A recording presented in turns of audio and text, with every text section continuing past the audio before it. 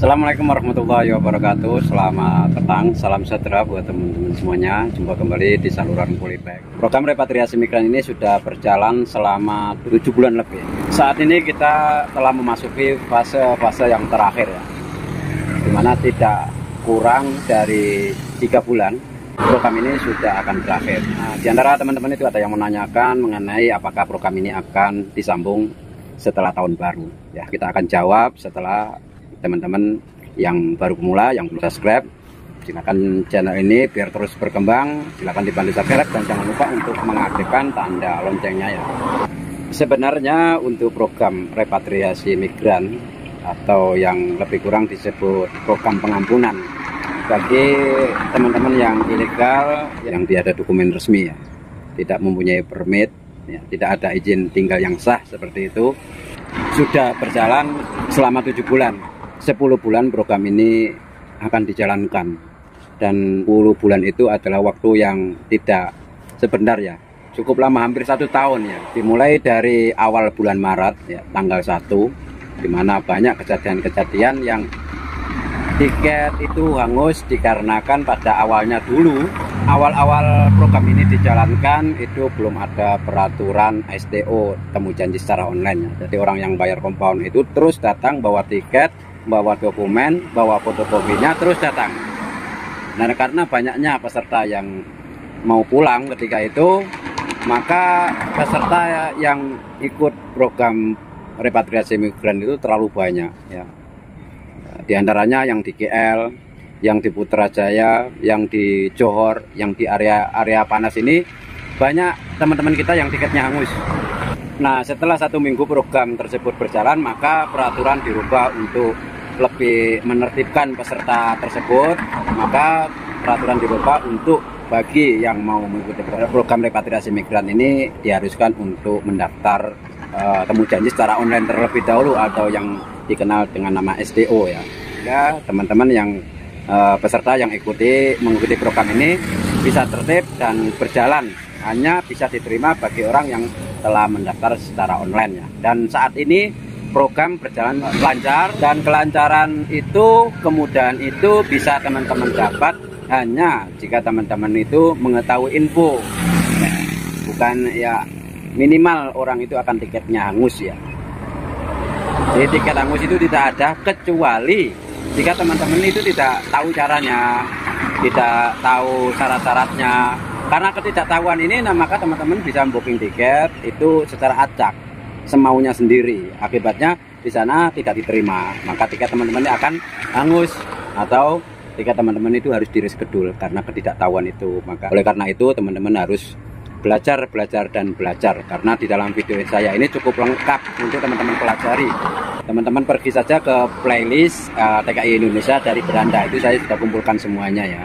Jadi teman-teman tinggal cari Kulibang misalnya teman-teman cari uh, eh, STO daftar online bayar compound nanti akan keluar senarai video-video yang telah saya upload di sana Nah, untuk pertanyaan teman kita tadi, apakah program ini diadakan sekali lagi pada tahun 2005? Lebih tepatnya, apakah program ini akan disambung seperti itu?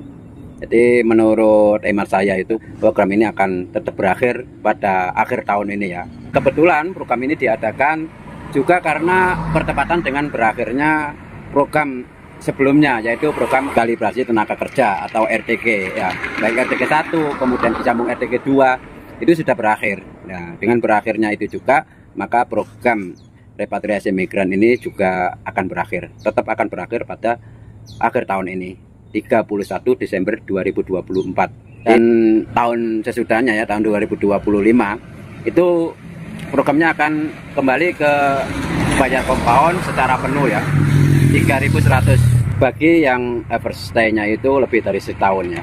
Kalau kurang dari setahun maka menjadi 2100 kalau kurang dari satu tahun ya 1100 eh, bagi yang kurang dari enam bulan. Selebihnya adalah dihitung per hari yaitu sebanyak 30 ringgit satu hari ya. Penghitungannya seperti itu. Itu kalau pembayaran compound secara penuh ya yaitu 3100 jadi buat teman-teman yang mau mengikuti program pengampunan ini segera teman-teman itu daftar temu janji secara online atau STO pastikan teman-teman itu mempunyai dokumen yang masih berlaku yang masih hidup nggak tukar SPLP nggak apa-apa. Yang penting mempunyai paspor yang penting mempunyai SPLP yang masih berlaku ya tentunya. Dan teman-teman yang belum mempunyai itu teman-teman menunggu apa lagi ya? Ini sudah akan berakhir dan tidak ada waktu lagi. Karena saking banyaknya orang yang membuat SPLP itu maka saat ini sudah di penghujung. Jika teman-teman itu mendaftar sekarang akan mendapatkan di bulan 11 akhir atau 20 oh, bulan 12 seperti itu ya. Itu karena mungkin kesalahpahaman dari teman-teman yang mau mendaftar antrian online SPLP akan tapi e, kesalahpahaman. Lalu program ini akan berakhir baru akan membuat itu pemikiran yang salah kaprah ya. Jadi itu salah besar jika teman-teman mempunyai pemikiran seperti itu. Resepsi itu salah. Orang yang mempunyai dokumen itu yang membuat SPLP itu nggak harus uh, cepat-cepat pulang seperti itu. Kalau kepulangannya itu terserah teman-teman. Buat SPLP dulu terus pulangnya nanti itu juga bisa. Itu lebih baik daripada teman-teman belum membuat SPLP baru akan membuat SPLP itu di akhir tahun karena di akhir tahun baru akan pulang nah seperti itu anggapan yang keliru jadi itu saja yang dapat saya share hari ini semoga bermanfaat bagi teman-teman yang selama ini menanyakan mengenai apakah program pengampunan ini akan disambung.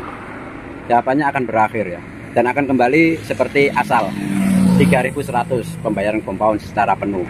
Dan untuk perbedaan antara pembayaran compound penuh dan program pembangunan ini untuk perbedaan dan persamaannya nanti akan saya share di video yang akan datang. Jika teman-teman suka akan video ini, silakan teman-teman like dan jangan lupa untuk share.